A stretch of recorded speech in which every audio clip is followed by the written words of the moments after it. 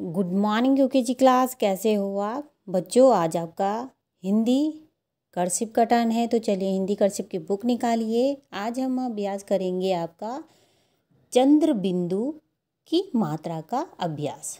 ये तो आपने पढ़ लिया है। ओके, देखिए यहाँ पे चा है, चा के ऊपर चंद्र बिंदु है तो चा दो। चाँद यहाँ ऊपर भी लिखा हुआ है। डॉट में भी आपको चाँद लिख के दे रखा है। आपने पेंसिल चलानी है और चाँद को लिखना है और बाकी लाइंस में भी आप चाँद लिखेंगे। ओके? फिर देखो। आ आ के ऊपर चंद्र बिंदु तो आ, ख, आँख। देखिए। यहाँ पे डॉट में भी आँख लिख के दे रखा है आपको तो आपने क्या करना है? पेंसिल चलानी है और आँखों लिखना है। बाकी लाइन में भी आप लिखेंगे। देखिए, जब हम इसका उच्चारण कर रहे हैं तो हमारी नाक और मुँह से उसका क्या आ रहे ध्वनि निकल रही है। निकल रही है ना? फिर देखिए, बा बा में चंद्र बिंदु तो बा, सु, री। बांसुरी देखिए यहाँ पे भी। डॉट्स में भी आपको बांसुरी लिख के दे रखा है। आपने पेंसिल चलानी है और बांसुरी को लिखना है। बाकी लाइंस में भी आप लिखेंगे इसको। फिर है आपका ओ ओ के ऊपर चंद्र बिंदु तो अंग अंगूठी अंगूठी। यहाँ पे भी आपको अंगूठी लिखी है। डॉट्स में भी आपको अंगूठी लिख के दे रखी है। आपने पेंसिल चलानी है और अंगूठी को लिखना है। बाकी लाइन में भी आप अंगूठी लिखेंगे। ओके? सबसे ऊपर आप क्लास वर्क ज़रूर डालिएगा। डे, आपका सैटरडे, डेट आपकी ट्वेंटी, मान टू ईयर ट्वेंटी वन। आगे बढ़ते हैं। इसमें है आपका वाक्य रचना। ओके? तो इसमें देखिए वाक्य रचना में क्या है? आपका अंग की मात्रा और चंद्र बिंदु दोनों का यूज़ हो रखा है, एक ही मात्रा का भी है आके भी है। ओके, अब देखिए। रॉ रॉ के ऊपर चंद्र, सॉरी, अंग की मात्रा है तो रंग, जो, नो, रंजन, फिर व, नी, फिर रॉ के ऊपर अंग की मात्रा रन जोनो निरंजन।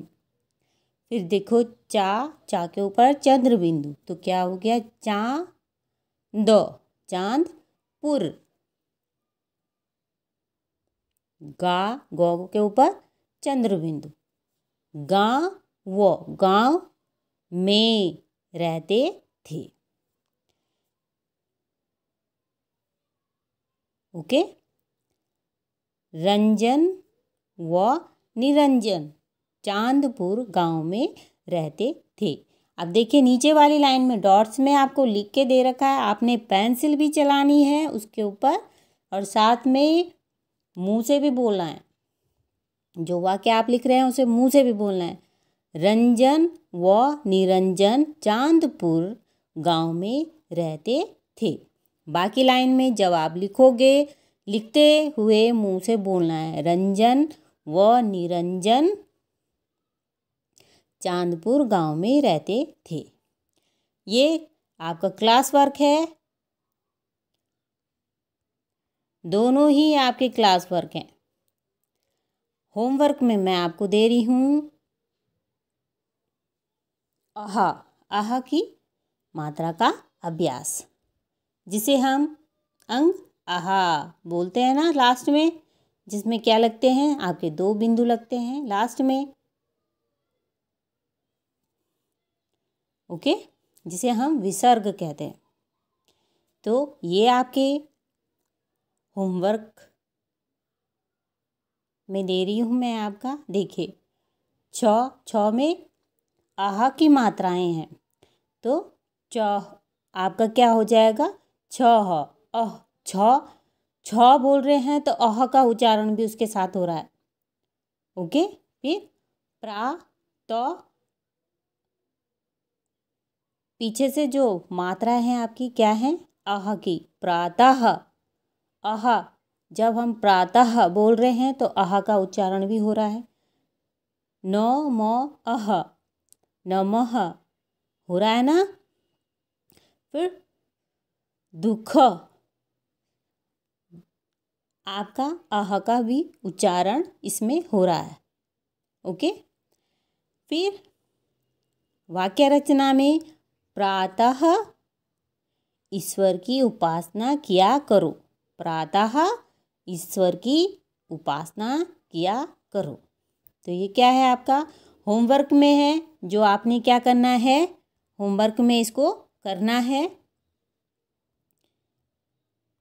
आ, ये वाला भी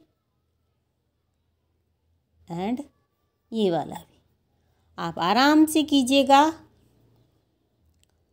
जब आप लिखते हुए मुँह से भी बोलेगा ओके बच्चों, ये बस इतना ही काम है।